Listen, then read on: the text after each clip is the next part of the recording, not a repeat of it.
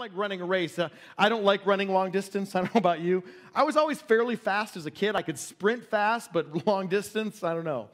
But how many of you know if, you, if you're running long distance, if you start out real fast, you might burn yourself out and not be able to finish. And so it's not how you start. Ultimately, at the end of the day, it's how you finish. And here's what we need to know that finishing well is not an accident.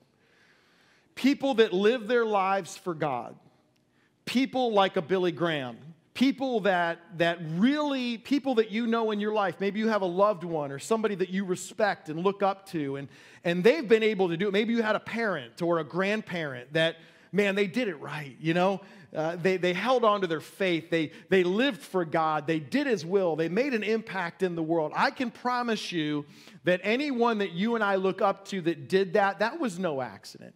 It takes effort, it takes courage, it takes perseverance in order to really live out the plan that God has for you and I.